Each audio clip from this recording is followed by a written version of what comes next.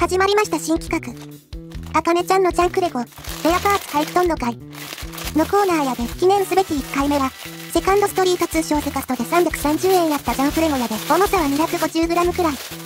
この量でこの値段やったら、マスターは大体飛びつくで、まずは、レゴじゃないものを選別していくで。最近は、レゴも換品のパーツが、量産で回ってるから。レゴジャンカーのみんなは、騙されないように注意やで、このハムスターは、タカラトミー、リカちゃんのペットやで。レゴやないで、レゴじゃないものも大体取り除けたから、次は、価値のありそうなレアパーツを探していくで、レゴで価値があるといえば、まずはミニフィグ、人形やな。ミニフィグコレクターがいるくらい人気で、中古でもフィグ単体で売られてたりするで。そやから、ジャンクレゴにはフィグが入ってないことが多いな。そんなわけで、まずは、この汚れた白い足。スターウォーズのストームトルーパーの足みたいで。2012年頃のパーツみたいやな。3アイテムにしか入ってなかったみたいで。全身揃ってたら1000円以上はしてるみたいやな。でも、これは足だけなんで100円くらいやな。次は足と髪の毛だけ。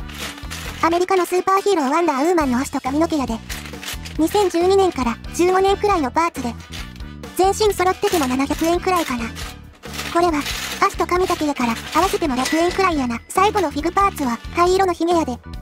このヒゲ、レゴの刻印がなかったから股間品かと思ったけど、手持ちのヒゲの刻印がなかったから、そういうもんみたいよね。1993年頃から2016年まで作られてたパーツで、この色のヒゲは、ハリー・ポッターのダンブルドア校長のヒゲっぽいな。ヒゲだけなんで50円やで、お次は、この旗、シールじゃなくて印刷されてる、いわゆるプリントパーツ。っていうのも価値が出やすいで、この旗は海賊船の出てくる。パイレーツ2009年のシリーズの海軍側の旗で、見たからの旗が、1992年の南海の勇者シリーズにもあるけど、それとは別やで。旗は、棒に固定する爪が折れてることが多いけどこれは大丈夫やね。やけも、ないし50円くらいかな。続いて、このヤシの木の葉っぱ。この形の葉っぱは大きいのと小さいのがあるけど、これは大きい方。1989年から2002年まで作られてて、30セット以上の色々なセットに入ってたみたいやな。これの色違いで、もうちょっと明るい色のブライトグリーンのやつもあって、そっちは、1個150円以上するけど、これは、普通のグリーンなんで20円くらいやね。最後は、この一見欄に使うのかわからない窓パーツ。2000年発売の消防署にのみ入っていたパーツで意外とレアパーツ。窓のところに少し傷があるけど120円くらいかな。今回は、このパーツが一番高かったな。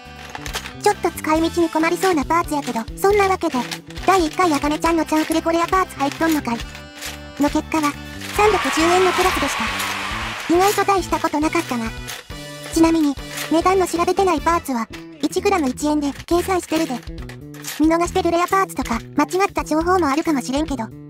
全部マスターが悪いから、そっちに行ってな。ほな、また、マスターがジャンクレゴを買ってくるその日までさよならバイバイ。